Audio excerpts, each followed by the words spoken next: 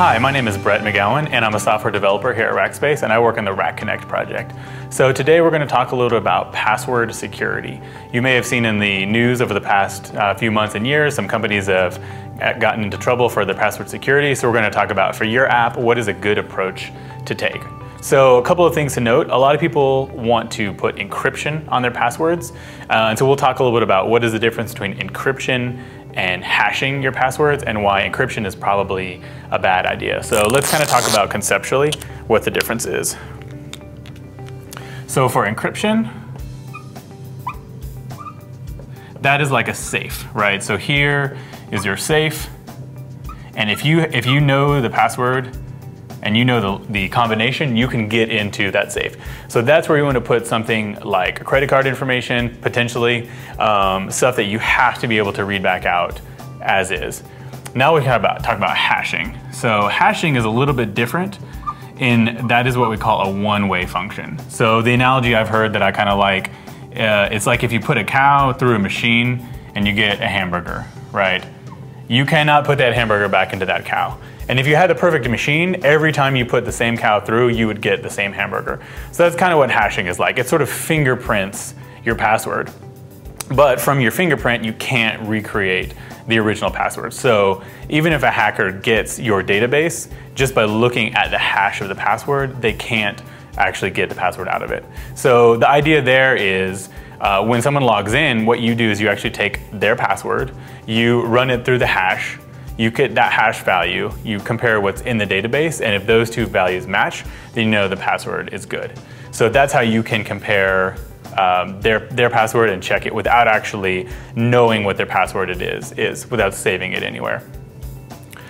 So that brings up a little bit of another issue though, which is uh, if, a, if a hacker gets your database and they have a list of all the hash passwords in there, um, there are a couple of tricks that they've figured out, and one of these is called rainbow, rainbow tables or pre-computing tables. And what they'll do is they will actually take all the words in the dictionary, all the words from one letter all the way up to 12 letters to 16 letters, and they will take common hashes, so MD5 or SHA, and they will pre-hash all the possible combinations of, of passwords that, that exist. So then what they do is they look in their huge mega list and then they go look for your hashed password value in the database. And if they find a match, then they know what the password is. So to get around that, to make it so hackers can't do that, uh, we'll introduce something called a salt. And essentially all a salt is, is that is going to be a random sequence of characters. So let's say like 128 characters. And when the user creates their password, you'll just randomly create a 128 character string. Then you will take the salt, attach the password to it, and you will hash this whole string. So now you actually have a, a much uh, a much longer password, and then you'll take this value and to that you will add the salt just in plain text and usually with some kind of delimiter. So like a colon. And then you'll add that to the hash. So in the database, it'll say halt, uh, salt, colon, and then the hashed salt plus password value. So now, because you have a different salt for every user in, in the database, um, a hacker can't pre-compute what all those values would be. And, and so that's, that's pretty much a good way to ensure that uh, when a hacker gets a database, like they can't get all your passwords. If they kept at it long enough, maybe, maybe they could get one user's password, but they are not gonna compromise the whole database. So an important thing to know here, though, this salt needs to be unique per user, because if you just have the same salt for every password in the database, um, if the hacker gets their hands on that salt, it's the same as if they're getting the encryption key to the safe, which means they can unlock all the passwords in the database. So that in a nutshell is hashing. If you're looking for a good hashing algorithm, there are some out there, um, one in particular called bcrypt that is recommended because it's actually kind of a slow encryption algorithm. And that's good because if a hacker is trying to recreate the hash on your password, you actually want that to be really slow because it'll take maybe you know a tiny bit extra when the user logs in, but they'll never notice that. For a hacker who's trying to do thousands and millions and millions of uh, hashes, this is going to take them a lot, lot longer. That's Passwords for Security. Thanks for watching. I'm Bret McGowen. If you have any questions, please leave them in the comments, and I'll catch you next time.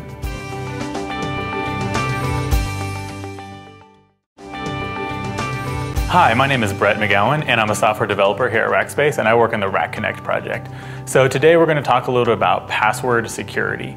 You may have seen in the news over the past uh, few months and years, some companies have gotten into trouble for their password security. So we're going to talk about for your app, what is a good approach to take.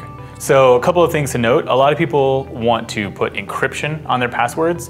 Uh, and so we'll talk a little bit about what is the difference between encryption and hashing your passwords and why encryption is probably a bad idea. So let's kind of talk about conceptually what the difference is. So for encryption, that is like a safe, right? So here is your safe. And if you, if you know the password and you know the, the combination, you can get into that safe. So that's where you want to put something like credit card information. And that, to make it so hackers can't do that, uh, we'll introduce something called a salt. And essentially all a salt is, is that is going to be a random sequence of characters. So let's say like 128 characters. And when the user creates their password, you'll just randomly create a 128 character string. Then you'll take the salt, attach the password to it, and you will hash this whole string.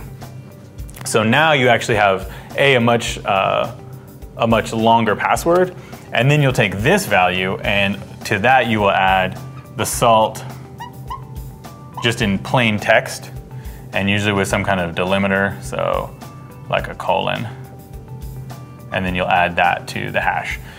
Potentially um, stuff that you have to be able to read back out as is. Now we can about, talk about hashing. So hashing is a little bit different in that is what we call a one-way function. So the analogy I've heard that I kind of like, uh, it's like if you put a cow through a machine and you get a hamburger, right? You cannot put that hamburger back into that cow.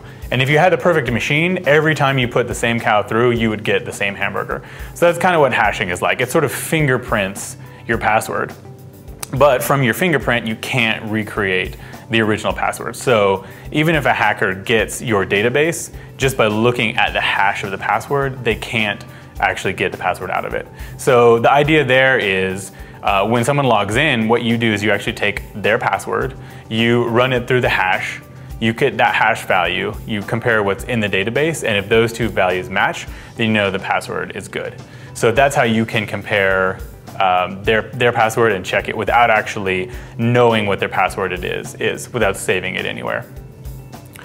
So that brings up a little bit of another issue though, which is uh, if, a, if a hacker gets your database and they have a list of all the hash passwords in there, um, there are a couple of tricks that they've figured out, and one of these is called rainbow, rainbow tables or pre-computing tables. And what they'll do is they will actually take all the words in the dictionary, all the words from one letter all the way up to 12 letters to 16 letters, and they will take common hashes, so MD5 or SHA, and they will pre-hash all the possible combinations of, of passwords that, that exist.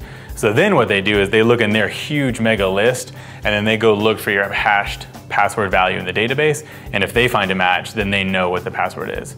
So to get around, so in the database, it'll say halt, uh, salt, colon, and then the hashed salt plus password value. So now, because you have a different salt for every user in, in the database, um, a hacker can't pre-compute what all those values would be. And, and so that's, that's pretty much a good way to ensure that uh, when a hacker gets a database, like they can't get all your passwords. If they kept at it long enough, maybe, maybe they could get one user's password, but they are not gonna compromise the whole database. So an important thing to know here, though, this salt needs to be unique per user, because if you just have the same salt for every password in the database, um, if the hacker gets their hands on that salt, it's the same as if they're getting the encryption key to the safe, which means they can unlock all the passwords in the database. So that in a nutshell is hashing. If you're looking for a good hashing algorithm, there are some out there. Um, one